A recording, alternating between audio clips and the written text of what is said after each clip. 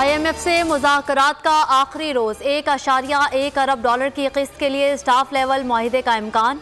किस्त तीन अरब डॉलर के स्टैंड बाय अरेंजमेंट प्रोग्राम के तहत मिलेगी।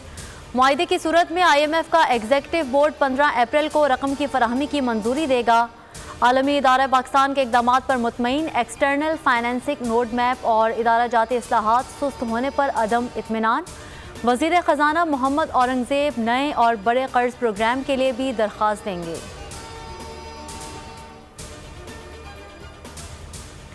गैस के एक और धमाके की तैयारी, सुई सदन के बाद नॉर्दर्न बी पर तोलने लगी। कीमत में एक सौ सैंतालीस फ़ीसद इजाफा मांग लिया। कीमत में दो हज़ार छः सौ छियालीस छः सौ छियालीस रुपये सिविल सोलह पैसे फ़ी M M B T U इजाफे की दरख्वास्त ओगरा 25 मार्च को लाहौर में समात करेगी। सुई सदन की दरख्वास्त आज सुनी जाएगी।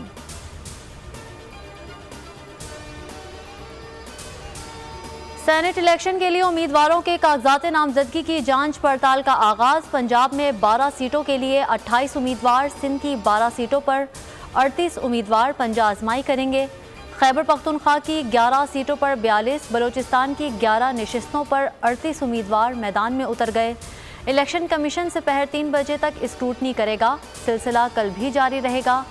21 मार्च को कागजात मंजूर या मुस्तरद होने के खिलाफ अपीलें दायर हो सकेंगी। ट्रिब्यूनल 25 मार्च को अपीलों पर फैसले सादिर करेगा।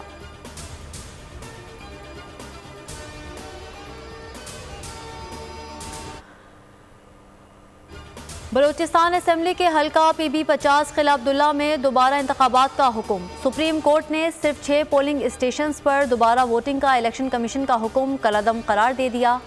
इलेक्शन कमीशन का हुक्म ए एन पी के जमरत खान ने चैलेंज किया था। अदालत ने हिदायत की, आइन और कानून के मुताबिक शफाफ पोलिंग यकीनी बनाई जाए।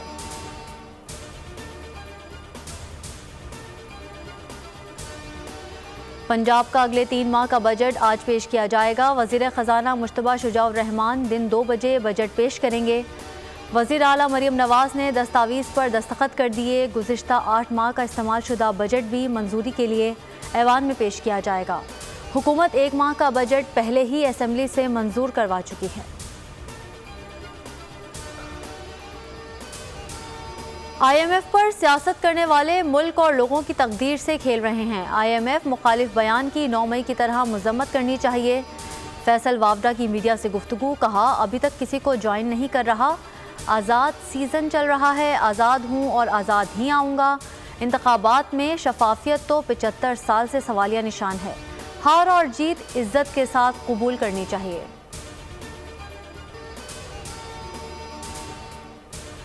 उन्नीस सौ पैंसठ की जंग के hero air commodore Mohammad Mahmood Alam की ग्यारहवीं बरसी आज chairman joint chief of staff committee और सर्विसेज़ चीफ्स का एम एम आलम को खराज अकीदत। एम एम आलम ने जंग के दौरान एक मिनट से भी कम वक्त में हिंदुस्तानी फ़जाया के पाँच जेट तैयारों को मार गिराने का कारनामा अंजाम दिया था।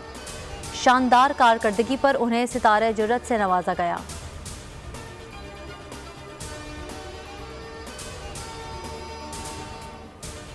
और मुल्तान मारेगा मैदान या इस्लामाबाद होगा दिलशाद। पीएसएल नाइन की ट्रॉफी के लिए आज होगा घमसान। मेगा इवेंट का फाइनल कराची के नेशनल बैंक स्टेडियम में खेला जाएगा। दोनों टीमों के पास एक से बढ़कर एक हथियार, हर कोई जान लड़ाने को है तैयार। इस्लामाबाद यूनाइटेड के कप्तान शादाब खान ट्रॉफी के लिए बेताब। मुल्तान सुल्तान के मोहम्मद रिजवान को भी फतेह का यकीन।